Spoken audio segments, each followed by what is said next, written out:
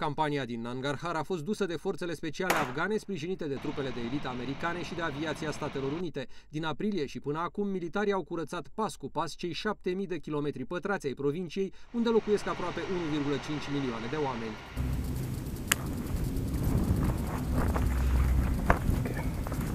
Luptele din zonă au fost extrem de sângeroase. De exemplu, doar în luna iunie, ISIS a pierdut 167 de luptători. Din cauza reliefului, trupele de elită au fost aprovizionate doar de elicoptere, iar pentru a aduce muniție și hrană în anumite avamposturi din munți au fost folosiți măgarii.